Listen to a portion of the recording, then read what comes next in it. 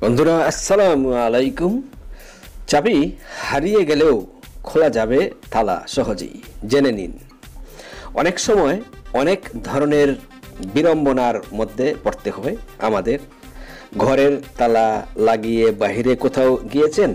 বাসায় ফিরে দেখলেন যে চাবি হারিয়ে গিয়েছে। এখন কি করবেন? তালা খোলার কারিগর তো সবসময় পাওয়া যায় না। এই অবস্থায় আপনি কি করবেন?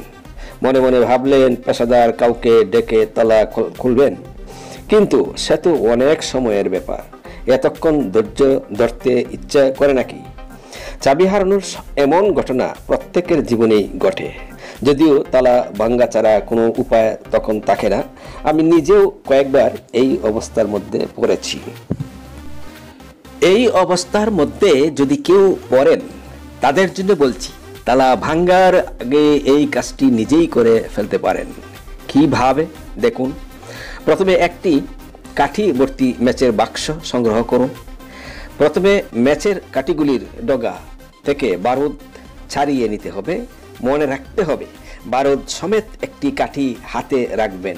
সেটি পরে কাজে লাগাবেন। বারুদ ছাড়িয়ে নেওয়ার পরে সব বারুদ একসঙ্গে একটি শুকনো কাগজের মধ্যে রাখতে হবে। কাগজ থেকে সেই বারুদ আস্তে আস্তে তালার ফটোর মধ্যে ঢেলে দিতে হবে।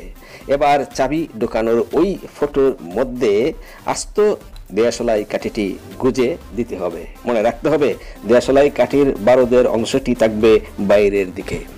এরপর গোটা মেছের কাঠিটির বারুদে আগুন দিতে হবে।